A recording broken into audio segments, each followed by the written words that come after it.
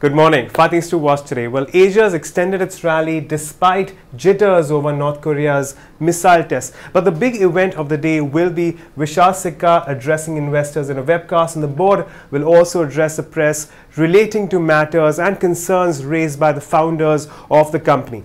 We're also keeping an eye on ONGC's $2.4 billion Mozambique deal, which is currently under the oil ministry's scanner. But it's been a poor set of earnings for the likes of Idea Cellular, which has posted its first quarterly loss since its listing. And Coal India's profit has also plunged by as much as 20%.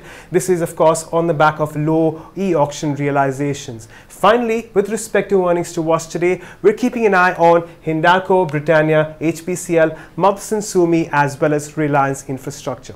Those are your five things to watch. Have a good day and stay tuned into Bloomberg Quint.